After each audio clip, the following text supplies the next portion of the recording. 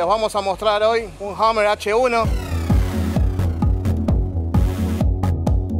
Este es mi Hammer H1, modelo del año 95. Lo uso acá cuando estamos en Miami. Mi cuñado lo, lo mantiene durante todo el año, le hace el mantenimiento. El auto está con algunas modificaciones.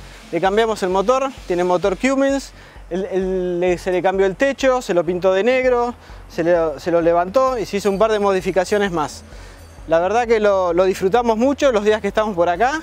Además nos, da la posibilidad de pasar por, diferentes sectores de, de Miami. Esta porrilla que podemos ver acá en el frente fue diseñada para el ejército, se baja y se le pueden poner cosas encima para poder transportar cosas de un lugar al otro en una forma mucho más cómoda que con un tanque. No olvidemos que este vehículo ha sido diseñado para el ejército y eh, están en las distintas guerras para transportar no solamente personal, soldados, sino también cosas, especialmente comestibles y cualquier cosa que sea necesaria transportar.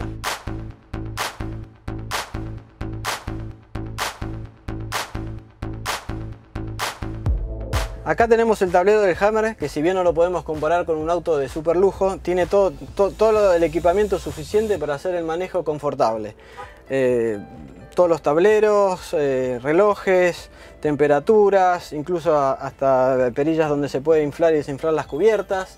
La única precaución que tenemos que tener con el Hammer es su tamaño, ya que en la calle obviamente somos más grandes que el resto de los autos pero después tenemos todas las condiciones, la dirección es, dirección floja, no hace, o sea, por ahí la gente piensa que es un auto duro, pero es muy fácil de conducir y manejar y de hecho es un auto para la familia como lo usamos nosotros, así que es muy cómodo y, la verdad eh, lo disfrutamos mucho por estos lugares. Si bien este auto parece un auto hecho para el ejército, que realmente también lo es para nosotros y para nuestra familia, es como una una limusina, ya que en él podemos hacer todos y tenemos el espacio suficiente y, nos podemos mover a, cualquier lugar y la verdad que lo disfrutamos mucho. Para nosotros es una limusina familiar, aunque parezca otra cosa.